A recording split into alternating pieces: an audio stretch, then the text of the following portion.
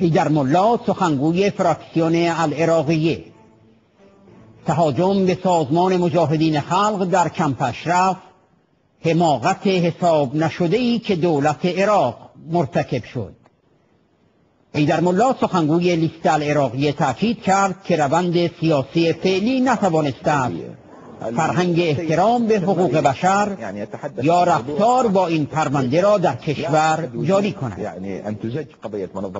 وی خاطر نشان کرد که دولت عراق با تهاجم به سازمان مجاهدین خلق حماقتی حساب نشده مرتکب شد. حیدر ملا سخنگوی لیست العراقیه ما به سازمان مجاهدین خلق یا هر سازمان دیگری زیربط نمی باشیم بلکه ما با احترام به توافقات بین المللی کار داریم.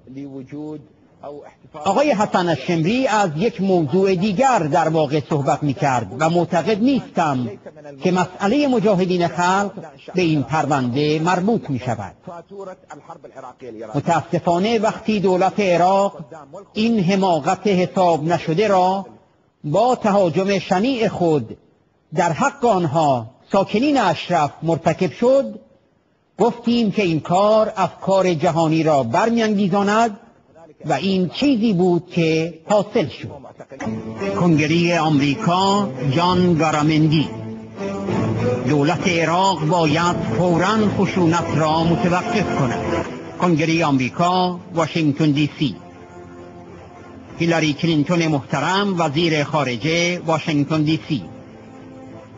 خانم وزیر عزیز من عمیقا نگران گزارشات اخیر از کشتن و مجروح کردن شهروندان غیر مسلح در کمپ اشرف توسط نیروهای عراقی هستم.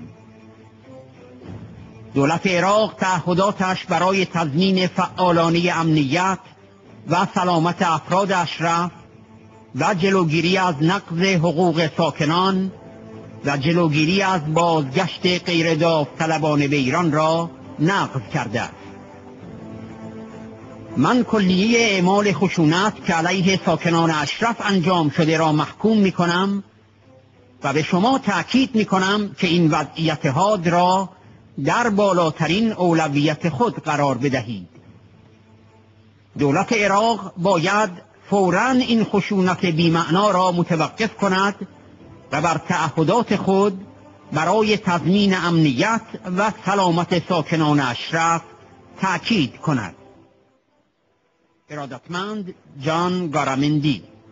فراخان حقوق بشر اسپانیا به دبیر کل ملل متحد.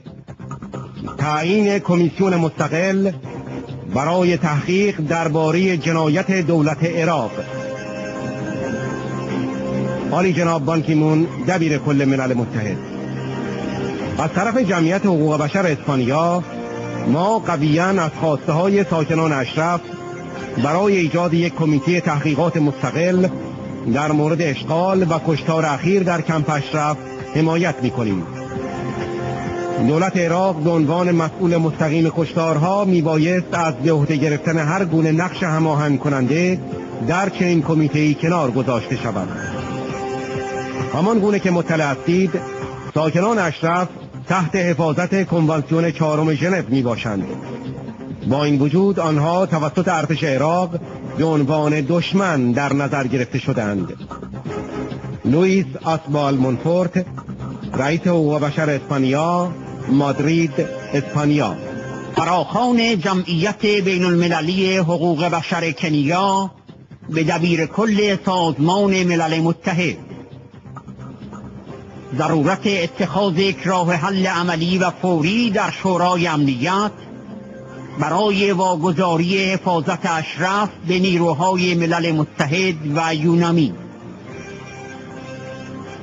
جناب آقای دبیر کل ملل متحد ما ضمن تایید و حمایت از فراخان خانم پیلای که حمله به اشرف و کشتار ساکنان آن را محکوم و خواهان تحقیقات مستقل و کامل و شفاف شد از شما می خواهیم تا با اقدامات مقتضی برای نجات جان بیگناهان در این کمپ و توقف کشتار توسط دولت عراق در جلسه شورای امنیت ضرورت حفاظت ساکنین اشرف توسط نیروهای سازمان ملل مورد بحث و بررسی قرار گیرد و یک راه حل عملی و فوری برای سپردن مسئولیت حفاظت کمپ به نیروهای سازمان ملل متحد و یونانی اتخاذ گردد.